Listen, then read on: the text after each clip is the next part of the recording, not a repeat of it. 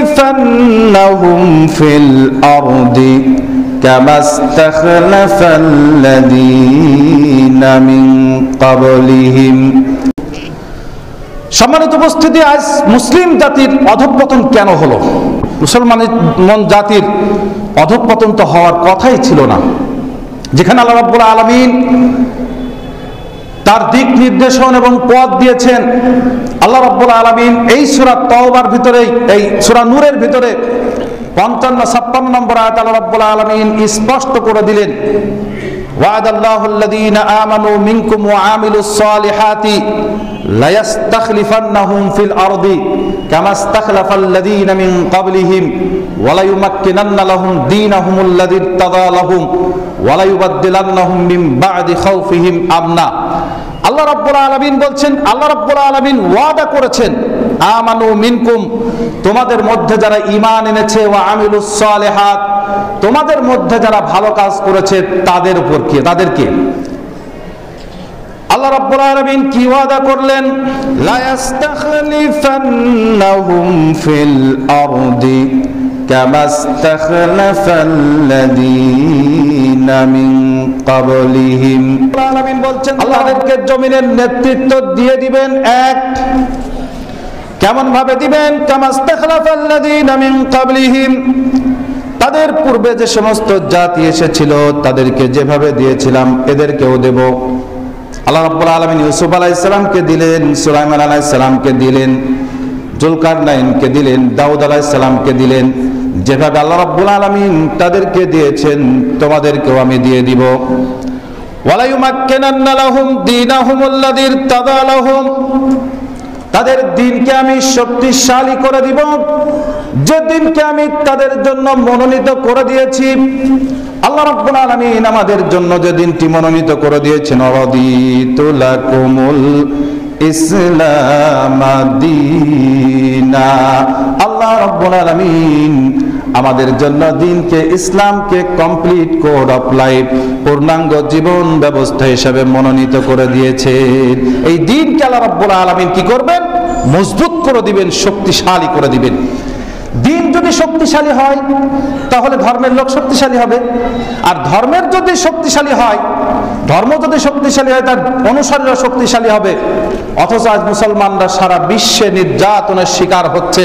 আর আমরা বলছি, ইসলাম একটি ক্ষমতাধার, শক্তিশালী, মজবুত ধর্ম। আপনারা কি খেয়াল করেছেন? দিল্লিতে পাশাপাশি কয়েকজন ছবি দিয়েছে। পাশাপাশি চারটা দোকান বা তিনটা দোকান, মাঝে একটা দোকান পড়েছে যেটা মুসলমানের সাইনবোর্ড। আর বাকি সবগুলো ঠিক আছে। যদি দিন শক্তিশালী হতো, তাহলে তার অনুসারীরা শক্তিশালী হতো। আর যদি অনুসারীরা শক্তিশালী হয়, তাহলে দিন মজবুত হতো, তাহলে কোনোটাই নাই। কেননা শক্তিশালীর গায়ে পৃথিবীতে কেউ হাত দিতে পারে না। মজবুত যারা থাকে, তাদের গায়ে কেউ হাত দিতে পারে না, তাকে দেখবার ধমক দিতে গেলেও দশবার চিন্তা ভাবনা করে, আমাকে একবার ধমক দিলে পাঁচটা ধমক দিয়ে বসে থাকবে বসে থাকবে। আল্লাহ রাব্বুল আলামিন তিন নম্বর ওয়াদা বলছেন ওয়ালা ইউবাদদিলান্নাহুম মিন বাদি খাউফিহিম আমনা। আল্লাহ রাব্বুল আলামিন পরিস্থিতিকে বদল করে দিবেন। যদি ভয় আসে, নির্যাতন আসে, জুলুম আসে ভয় নির্য- নির্যাতন জুলুমকে নিরাপত্তা দিয়ে পরিবর্তন করে দিবে।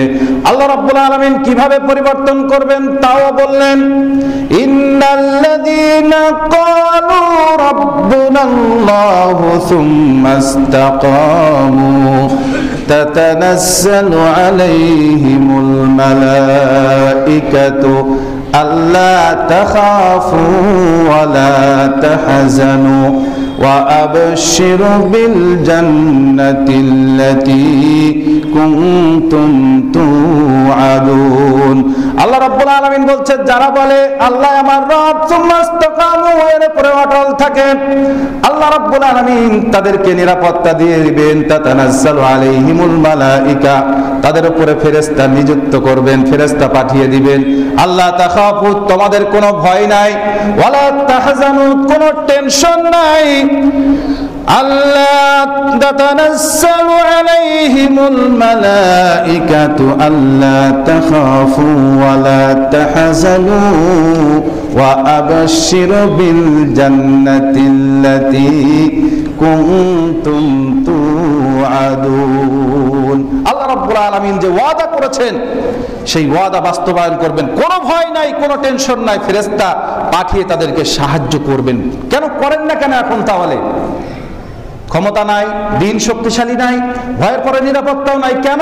আল্লাহ রাব্বুল আলামিন বলছেন, তখন দেব, ইয়াবুদুনানি যখন তারা ইবাদত করবে। প্রথম শর্ত শর্ত সাপেক্ষে ছাড়া আল্লাহ রাব্বুল আলামিন কিছু দেন না। এই জন্য শর্ত হচ্ছে, ইয়াবুদুনানি তারা আমার ইবাদত করবে। ইবাদতের মধ্যে সময়কে ব্যয় করবে। ওলা ইউশরিকুনা বি আর ইবাদত করতে গিয়ে আমার সাথে কাউকে কোন অবস্থায় শিরিক করবে না। আল্লাহ রাব্বুল আলামিন তারপরে বললেন শোনো ওমান কাফারা বাদা যালিকা ফাউলাইকা হুমুল ফাসিকুন এই কথাকে যারা অস্বীকার করে তারা সত্য অস্বীকারকারী ফাসিক ছাড়া আর কিচ্ছু নয় আল্লাহ রাব্বুল আলামিন আরও তিনটি শর্ত বললেন আল্লাহ ইয়াকিমুনাস সালাতা আতুস তারা আদায় করবে ওয়া আতুস দিবে। তাহলে পাঁচ, তিন নম্বর শর্ত আদায় করবে দিবে। চার নম্বর শর্ত পাঁচ নম্বর হচ্ছে আল্লাহ রাসূলের আনুগত্য করবে সদা সর্বদাই। আল্লাহ রাব্বুল আলামিন তারপরে বলছেন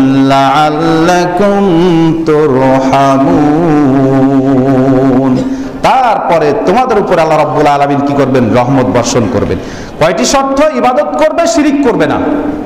সালাদ প্রতিষ্ঠিত করবে। সালাদ প্রতিষ্ঠিত শুধু নিজে পড়বে। আর ছেলেকে পড়া- পড়ার জন্য বলবেন, এমনটি নয়। স্ত্রী পড়- পড়ছে না, তার খবর রাখবে না, এটা নয়। আবার নিজেও অটল থাকবে না, এটাও নয়।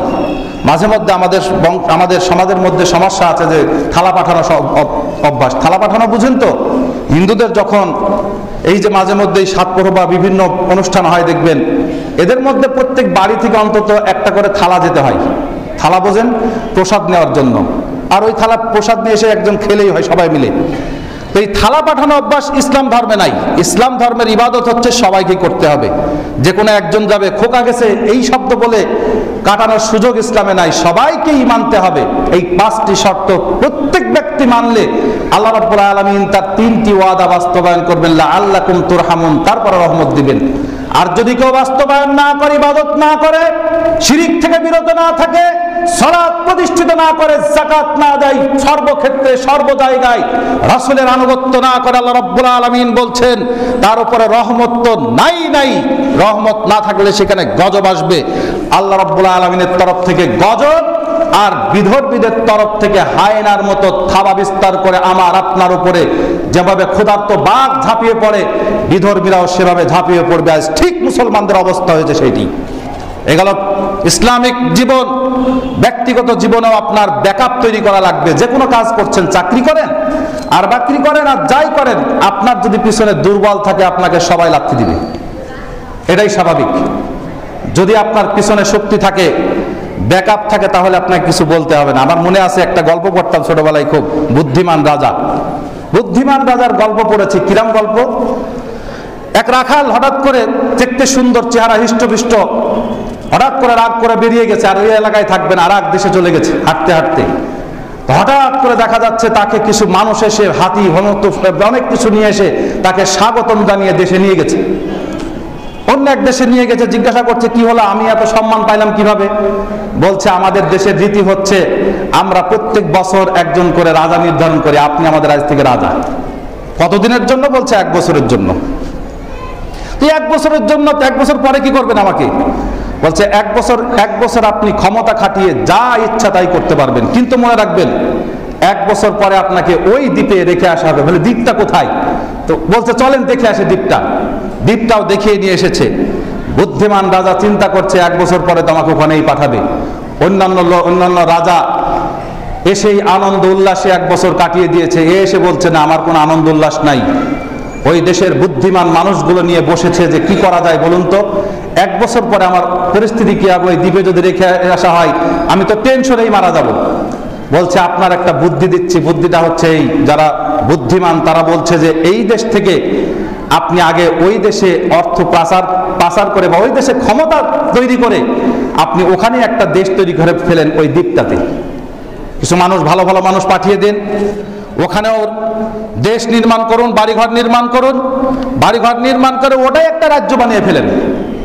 আর যখন এক বছর পরে আপনি ওখানে যাবেন, তখন তো আপনি ওখানে রাজাই। তাহলে এখান থেকে রাজত্ব রাজত্ব ছেড়ে গিয়ে ওখানেই রাজত্ব পেলেন। এটা হচ্ছে ব্যাকআপ তৈরি করা। তাহলে আপনার টেনশন থাকল না। আর যদি আপনি আনন্দ উল্লাসে একটি বছর কাটিয়ে দেন, সারা বছর আপনার চোখে পানি ফেলে কাটিয়ে দিতে হবে। বুঝাতে পারি নাই মনে হয়। ব্যক্তিগত জীবনেও যে যে কাজ করেন, আমার মনে হয় ব্যাকআপ তৈরি করা খুব বড় জরুরি। নিজের পিছনে শক্তি মজবুত থাকা জরুরি। যখনই আপনি দুর্বলতা কারোর কাছে প্রকাশ করবেন, দেখবেন যে সবাই আপনাকে পেরে ফেলছে। আল্লাহ রব্বুল আলমিন আমাদের বিশেষ করে বর্তমান মুসলমানদের যে পরিস্থিতি, ব্যক্তিগত জীবনে যে পরিস্থিতি প্রত্যেক বছরে একবার না দুইবার ধাক্কা আসছেই আমাদের এই ধাক্কাকে তৈরি সামাল দিতে আমাদের অবশ্যই আল্লাহ রব্বুল আলমিনের বিধান মেনে নিতে হবে আর ব্যক্তিগত জীবনে প্রত্যেক জায়গায় নিজের ব্যাকআপ তৈরি করতে হবে। আল্লাহ রব্বুল আলমিন আমাদের সবাইকে তৌফিক দান করুক। সুবহানাক আল্লাহুম্মা বিহামদিকা আশহাদু আল্লা ইলাহা ইল্লা আনতা আস্তাগফিরুকা ওয়া আতুবু ইলাইক।